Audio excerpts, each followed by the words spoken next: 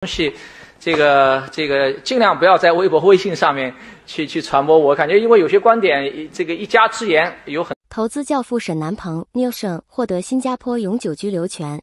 一位熟悉沈先生情况的人士表示，他在新加坡的时间很少，看起来仍然以香港为基地，经常前往中国大陆。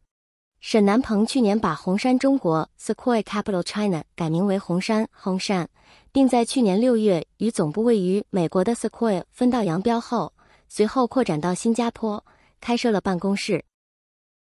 沈南鹏在中美关系恶化之前，领导了 Sequoia 的中国业务。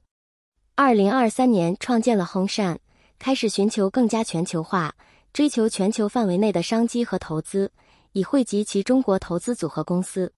一家由 hongsan 支持的中国大陆初创医疗产业公司告诉《金融时报》，他已经收到建议成立新加坡实体的建议，因为这将有助于其进入包括美国在内的国际市场。另外两位也受到 Hongshan 支持的初创公司的共同投资者表示，创始人被告知要建立新加坡的存在，一些已经建立起来了。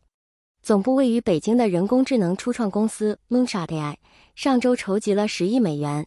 去年成立了一个新加坡实体，Hongshan 是这家初创公司的长期投资者。中国的海思机器人，一家自主仓储机器人初创公司，另一家红杉支持的公司，于二零二一年末在新加坡开设了办公室。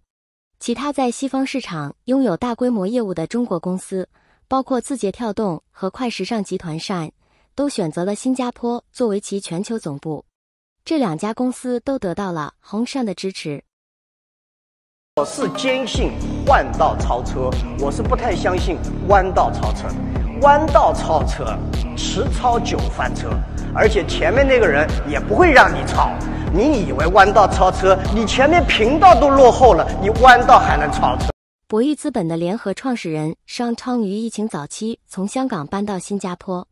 博弈资本于二零一九年在新加坡开设了办公室。亿万富翁。中国出生的高瓴集团 Hillhouse Capital 创始人张磊张威已成为新加坡公民。Hillhouse 于二零二二年扩建并整合到更大的场所。大众点评创始人张涛和字节跳动创始人张一鸣都在过去几年搬到了新加坡。一个老汉，一个青年。